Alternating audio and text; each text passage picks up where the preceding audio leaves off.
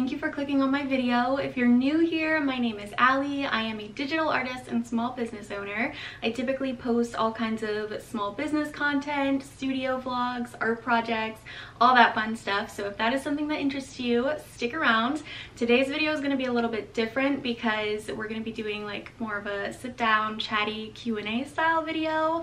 I thought it would be really fun to get to know you guys a bit better and have that conversation. So I had you guys ask me some questions over on my Instagram. So we're to go through some of those today, but let me know in the comments if we have anything in common. Let me know if you have any other questions that I didn't answer. I love talking to you guys. So yeah, let's just get right into it. I wrote down a bunch of your questions in here so I can keep track but um, I had you guys ask me some personal questions and some business questions. Um, so starting off strong, we have what is your Starbucks order? And I actually have some with me today, of course. If you follow me on Instagram at all, you know that I have a serious Starbucks addiction. But I actually order a few different drinks. This one is the Starbucks shaken espresso, just the plain one. Um, so I get that sometimes when I'm just feeling extra tired. But I also really like the vanilla sweet cream cold brew and I sometimes will get the nitro version. Okay, so on a more business related note, which I know is why a lot of you are watching, we will start with these questions. I feel like they kind of go hand in hand together. Um, so we'll start there. What inspired me to start my business? That is kind of complicated actually because I really didn't have any sort of plans of starting a business. That wasn't like anything that was even in my mind as a possibility because at the time I was teaching um, but I've always been super into crafts and art and all that stuff and I would watch a lot of YouTube videos of people who had Cricuts so I had that on like my little wish list and my husband actually got me a Cricut for my birthday one year. And I started making stickers on it just for fun, just for myself. Um, and then I forget who, but somebody was like, you should make an Etsy shop. And I did, and I was doing that for a little while, and then I started getting a little bit of traction on there, and I had people asking me for like custom stuff. So I was just doing that for a little while, just on the side, just as kind of like a little creative hobby. And then from there, it kind of lined up perfectly with like all of the COVID shutdowns and stuff because um, my teaching job ended up sending us home. So I had a lot of free time on my hands. So I went ahead and like put more energy into that Etsy shop just because, you know, I needed something to do. And by the time that lockdown and everything was over, I was making a decent amount on sales. So that's kind of when I decided to go full time with it. It all happened super fast. I know it's not like that for everyone. Um, but definitely just getting your foot in the door is super super helpful even if you just do it as like a side hobby just starting is like the first step so I feel like that could also go really well for um, the going from illustration to small business work. If you're already drawing, then there's a lot of different ways you can monetize the art that you're already making. You can either go the route that I did and do like an Etsy shop or something like that where you make the product yourself or there's other options. You can do like Redbubble, Society6 where you just upload your artwork and then um, they create the products and send it to your customers. So that's more like a passive income sort of direction. You could start there if you don't have the money or the funds to put into starting it yourself. If that's the direction you want to go in but you're not there yet, you can always start with the passive income sort of way and just have a manufacturer do all of that on that end for you. Um, so yeah, I think those are some really awesome ways to get your foot in the door. My Instagram really helped elevate a lot of my business along with TikTok. So getting yourself on social media is super important and super helpful. So I definitely recommend doing that. Advertise your artwork, try a bunch of different things because not everything is gonna work for everyone. And yeah, honestly, there's so many different ways that you can get into the small business world. That's just what worked for me, but I know there are so many other successful businesses out there that have their own story. So do what is right for you, do what is right for your budget, and honestly just start is the best advice I can give. Just start. This next one is kind of a loaded question for me because I feel like it goes so back and forth. I don't know if anyone else with a small business can relate to like missing your last career if you had like a career transition, but I definitely think some days I do miss teaching because it's I, I mean, I went to school for it. I have a degree in it. That is like what I plan to do with my life. And I love kids and I love like the lesson planning and creating all the resources and decorating my, like I miss all of that. I do. Um, I don't think that I want to go back to teaching because there are a lot of hard parts about teaching and a lot of things that I don't miss. I feel like some days I kind of focus in on the good parts that I do really miss and I kind of cloud over the parts that I didn't really enjoy about teaching. Um, but overall, having my small business and doing art and talking to you guys and just everything that I get to do now is just like my absolute dream job and it's not even something that I had ever thought was possible for myself so I wouldn't go back to teaching. I do kind of miss it some days, but I feel so grateful and so lucky that I get to do what I do and I definitely want this for you know the rest of my career. I want to expand my business and just grow in that way. I group these two together because i feel like for me they are kind of one and the same. I feel like one of my biggest challenges as a small business owner is that feeling of imposter syndrome is those like slow periods where I'm not seeing as many sales as I maybe was this time last year or like a month ago.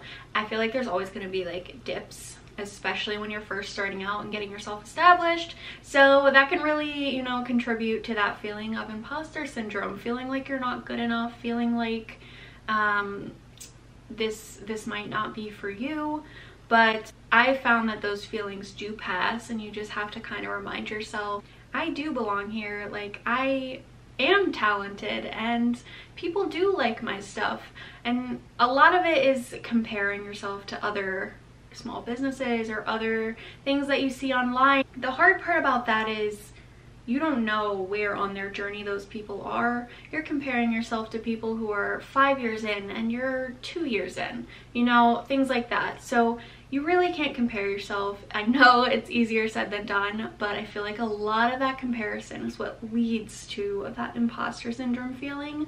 So I feel like taking a step back and hiding things if you need to. I feel like it's perfectly okay to unfollow or hide accounts that make you feel less than and it's nothing against them they are on their own journey just like you are but it's also okay to look out for your own mental health.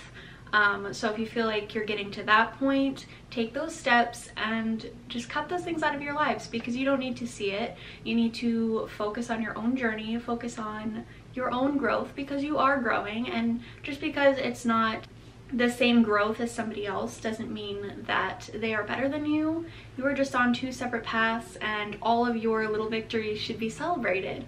And you should be focusing on the things that you are doing right and the things that you can do to grow yourself um, and try really hard to stop that comparison because I feel like that is one of the biggest challenges, especially if you're a small business owner that is like focused in on social media like I am um, so yeah, you can cheer on other small businesses, you can be proud of their successes, but make sure you're being proud of your own successes too because you were working so hard for it and you deserve that cheer too. This is super fun. I absolutely love reading and I just got a library card recently so I've been checking out books from the library which has been a game changer I gotta say. Um, so I've been reading a lot of the Mary Kubica books lately. The one that I am currently on is called When the Lights Go Out. Um, so I'm getting through her books. I recently read um, The Other Mrs., which I really, really loved. This one I actually got from a new like little small business bookstore in my area. So I'm excited to start this one after I finish that one. But this one is called The Dead Romantics by Ashley I think it's Poston. So this is going to be my next read. So let me know what kind of books you guys are into. I really like like thrillers. I'm into um, dystopian style books and like futuristic sci-fi kind of books. So I've got kind of a big spectrum on what I'm interested in, but let me know if you have any good book recommendations. I am always looking for more books to read. When is my punch needle launch? The uh, famous punch needle launch that I have been teasing since like July or August. I am actually working on it today. I have been just building up a whole collection of these punch needle coasters. I've got some keychains, I've got some car charms. You may have seen me making some of those in some of my vlogs. I, I don't know, I feel like I've been procrastinating and pushing it off because I am just like I don't know, nervous that they're not good enough or something. I don't know, I don't know. But I've been working super hard. I'm gonna be taking pictures of them this week and the listings are gonna go up either towards the end of the month, early November time period. I promise, hold me to that. That is when the launch is gonna be. I am getting it ready. That is my next launch 100%. So yeah stationery oh my goodness you guys love me some stationery. I really do want to kind of take like a stationery direction with my business but i'm thinking for stationery products in like the more near future.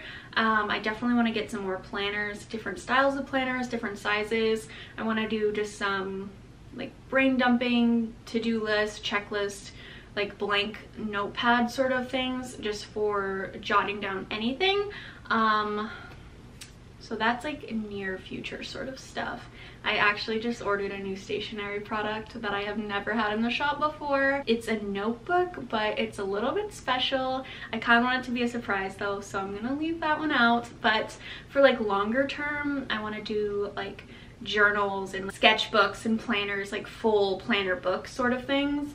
Um, there's a lot of that that it takes to get into that. So those are things that are probably more distant stationery goals for me, but I really like the direction I'm heading with the stationery. Okay, since we already kind of talked a little bit about some of my goals, we'll just go into that question next.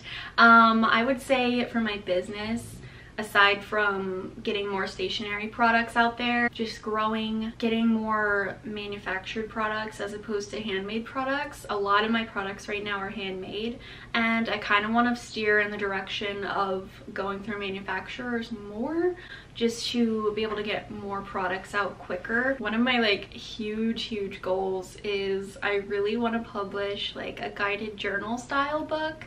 I want like my art, my lettering, and then like maybe some little prompts. I absolutely love those books and it would be like the coolest thing ever to have my art published in a book.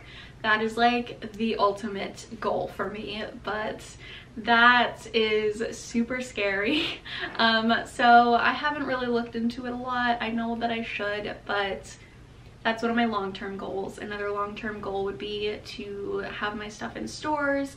I've been working on a wholesale shop. It's just kind of been on the back burner a little bit for me. So I really want to get more serious about that because seeing my stuff in stores would be super duper cool. I've toyed around with the idea of having like my own little storefront or like a little bus or something. So that's a possibility. I don't know if I want to go in that direction or not, but I do really like the idea of it. Um, so yeah, those are my like business goals. Um, personal goals, I really, I feel like I have like the most basic goals. I really want to buy a house and I want to be a mom, all that kind of stuff. But yeah, that is my personal goals. Um, I also want to move back to the East Coast because right now I'm on the West Coast. I love it here, it's beautiful, but I miss my family. They're on the East Coast and I'm not gonna lie to you, the cost of living out here is insane. We're gonna end things off here with what advice do I have for other small business owners because this is my most asked question for sure.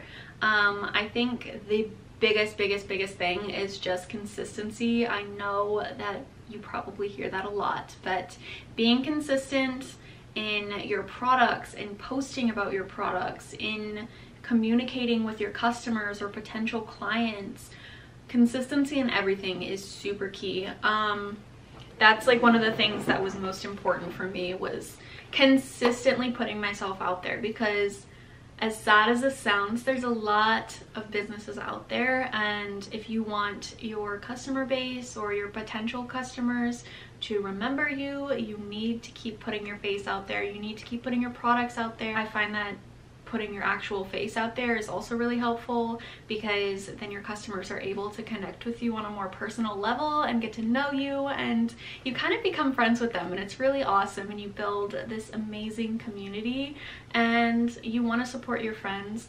I personally want to support small businesses that I have a connection with, be it a personal friendship that we've formed or like things we have in common. I feel like if you can connect to your audience, they're gonna wanna support you, they're gonna wanna support your business, and that is super important. Make sure you are putting out quality products if that's like the type of business that you're running. Make sure you're putting out quality products. Make sure if you are in the wrong somewhere along the way, you make it right because you want to make sure that your customers are feeling safe to order from you.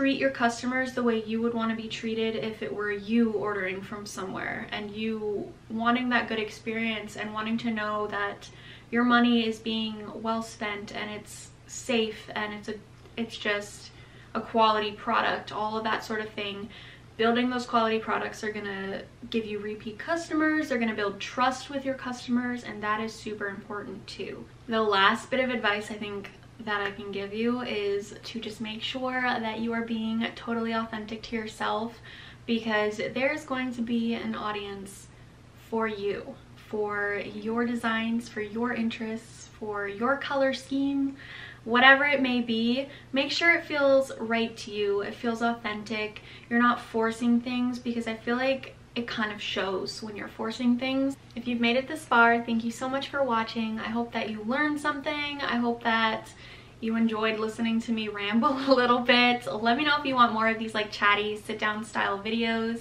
Let me know if you have any other questions that I didn't answer because I know that we got through a lot in this video, but there are still so many other things that could be talked about so let me know. And if we have anything in common I would love to chat with you hear about that too and I will see you on the next one